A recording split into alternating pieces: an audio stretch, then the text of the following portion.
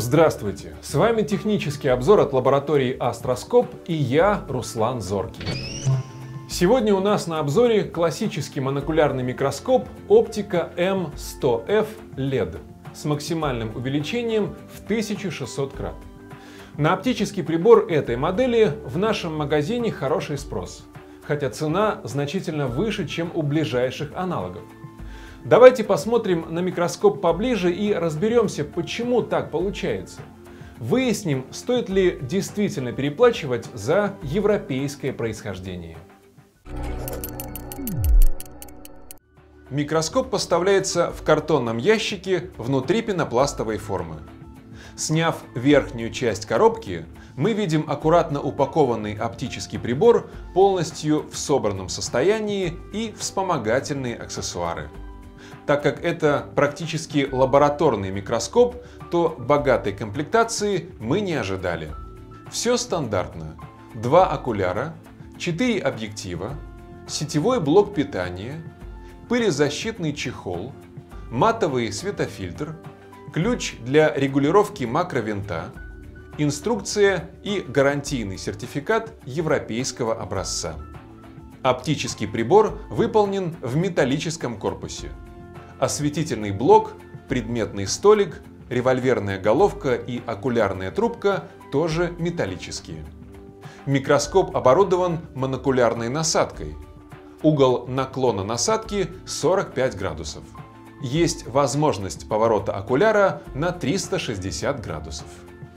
Благодаря этой функции за оптическим прибором могут работать либо обучаться одновременно несколько человек – Выкрутив окулярную трубку, мы попадаем внутрь монокулярной насадки и видим трехгранную призму. Призма преломляет лучи света, идущие от осветителя через объектив, и направляет их в окуляр.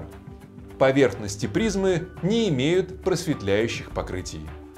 Увеличение комплектных окуляров 10 и 16 крат. Окуляры фиксируются стопорным винтом в окулярной трубке. Посадочный диаметр 23,2 мм. Десятикратный окуляр выполнен по оптической схеме Гюйгенса. Корпус металлический. На линзах присутствует слабо заметное просветление фиолетового цвета.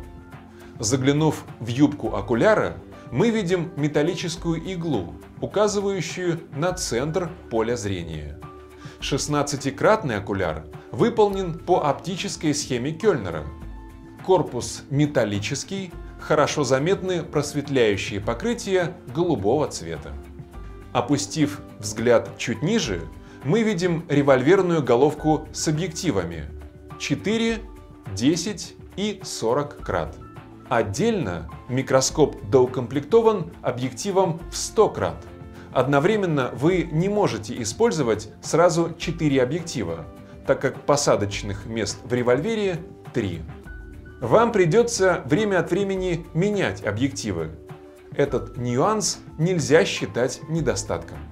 Как правило, всегда есть один объектив, которым пользуются реже всего. Вот его и замените на более подходящий вам. Для хобби вы будете, скорее всего, пользоваться объективами 4, 10 и 40, а для работы в лаборатории 4, 40 и 100. Объективы выполнены по DIN стандарту. Корпус металлический, посадочный диаметр 20 мм. Просветляющее покрытие присутствует у объективов 4 и 10 крат.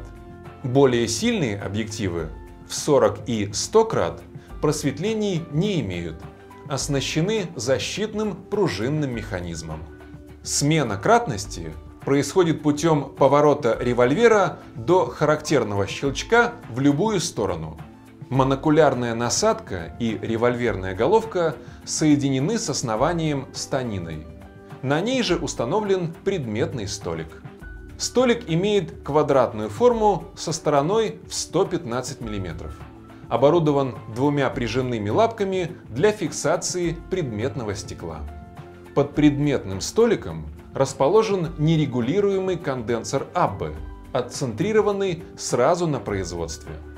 Конденсор вам необходим для регулировки диаметра светового пучка, попадающего в объектив.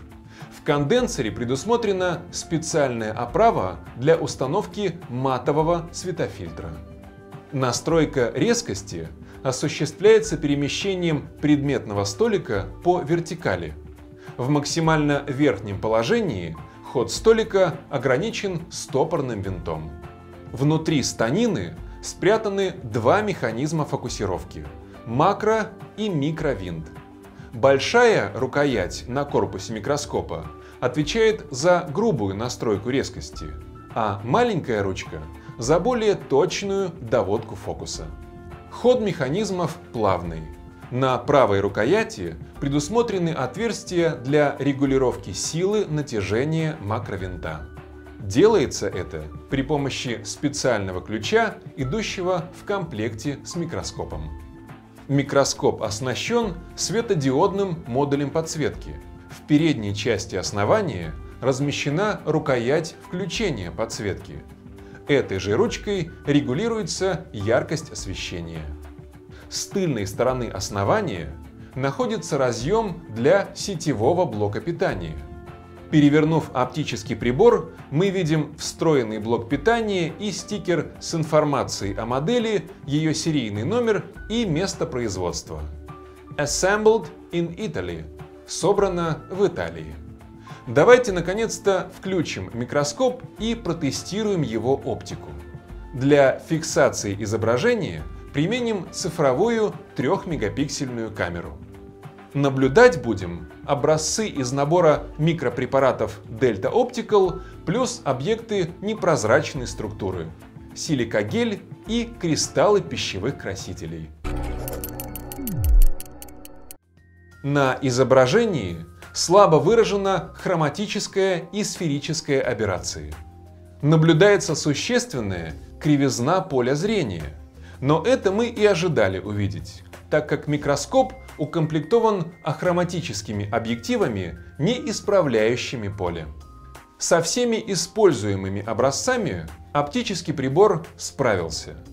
Удалось вполне успешно наблюдать достаточно крупные кристаллы и шарики силикагеля в отраженном свете на увеличении в 40 и в 100 крат, хотя микроскоп не предназначен для подобных материалов. Микроскопу было решено поставить оценку в 8 баллов из 10 возможных. Первый минус – нет координатного нониуса. Двигать образец в поле зрения микроскопа на увеличении более 400 крат очень сложно. Второй минус – нерегулируемый конденсор Аббе. Вы не можете более гибко настроить освещение микроскопа для специфичных образцов. Учитывая весь комплекс преимуществ данной модели над ближайшими аналогами и при этом не забывая о минусах прибора, мы можем советовать микроскоп оптика M100F LED по большей части для учебных целей или хобби. Для лабораторных задач микроскоп использовать можно, но только дополнительно оснастив координатным нониусом. Завышенная стоимость прибора оправдана – Приобретая оптику M100F, вы получаете действительно качественный микроскоп, который при должном уходе прослужит вам десятки лет. С вами был технический обзор от лаборатории Астроскоп. До скорой встречи в нашем магазине.